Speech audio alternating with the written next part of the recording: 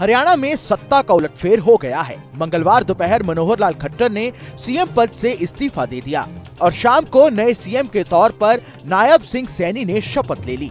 इसी बीच बीजेपी के दिग्गज नेता और पूर्व गृह मंत्री अनिल विज की नाराज़गी की खबरें भी सामने आने लगी हैं। दरअसल खट्टर के इस्तीफे से पहले हरियाणा निवास में जहाँ भाजपा की बैठक हो रही थी, उसमें अनिल विज मौजूद थे। लेकिन बैठक के बीच में ही वो वहाँ से निकल गए। इसकी वजह पूछे जाने पर वो सवालों को टाल गए। उन्होंने कहा कि जो लोग दिल्ली से आए हैं, वो बताएँगे। बैठक बीच में छोड़कर निकलने के बाद विज सीधे अपने अंबाला स्थित आवास पर पहुँच गए। छेबार के विधायक विज चंडीगढ़ में शपथ समारोह में भी शामिल नहीं हुए। अब इसे लेकर तरह तरह की अटकलें लगाई जा रही हैं। सूत्रों के हवाले से कहा जा रहा है कि हरियाणा सरकार में जिस तरह का बदलाव हुआ है विज उससे नाखुश हैं। उनकी नाराज़गी साफ़ तौर पर नज़र आ रही है। मंगलवार शाम जब चंडीगढ़ में नई सरकार बन रही थी और सीएम समेत मंत्री शपथ ले रहे थे, उस समय अनिल विज अंबाला में मौजूद थे। जरा ये वीडियो देखिए। अनिल विज का ये वीडियो ठीक उस समय का है जिस समय सीएम पद की शपथ ली जा रही थी। वीडियो में विज समर्थकों और सुरक्षा कर्मियों के साथ मज़े से गोलगप्पे खा रहे हैं। वीडियो में विज को लोगों से मुलाकात करते और हँसी ठिठोली करते भी देखा जा सकता है। अब ये दूसरा वीडियो देखिए। प्रदेश में राजनीतिक सरगर्मी के बीच कैसे हरियाणा के दिग्गज नेता अपने पोते पोतियों के साथ खेलते नज़र आ रहे हैं। इन दोनों वीडियो से कई सवाल खड़े होते हैं। आखिर अनिल विज शपथ ग्रहण समारोह से दूर क्यों हैं?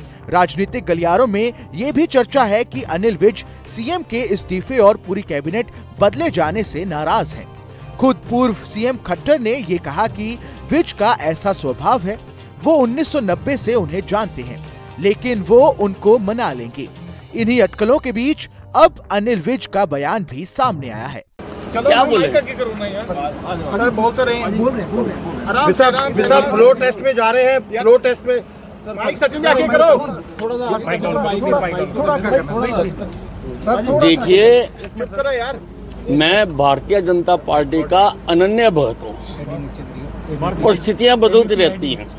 लेकिन मैंने हर परिस्थिति में बीजेपी के लिए काम किया है और अब भी करूँगा पहले से कई गुना ज़्यादा करूँगा।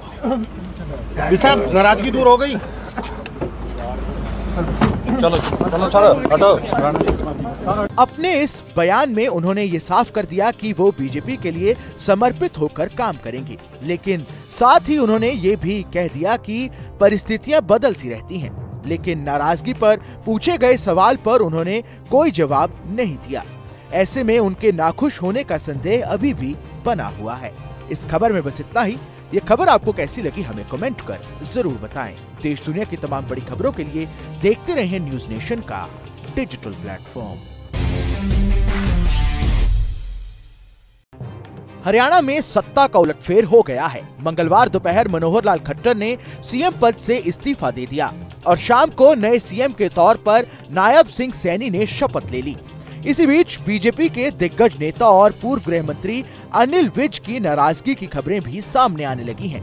दरअसल खट्टर के इस्तीफे से पहले हरियाणा निवास में जहाँ भाजपा की बैठक हो रही थी, उसमें अनिल विज मौजूद थे। लेकिन बैठक के बीच में ही वो वहाँ से निकल गए। इसकी वजह पूछे जाने पर वो सवालों को टाल गए। उन्होंने कहा कि जो लोग दिल्ली से आए हैं, वो बताएँगे। बैठक बीच में छोड़कर निकलने के बाद विज सीधे अपने अंबाला स्थित आवास पर पहुँच गए। छेबार के विधायक विज चंडीगढ़ में शपथ समारोह में भी शामिल नहीं हुए। अब इसे लेकर तरह तरह की अटकलें लगाई जा रही हैं। सूत्रों के हवाले से कहा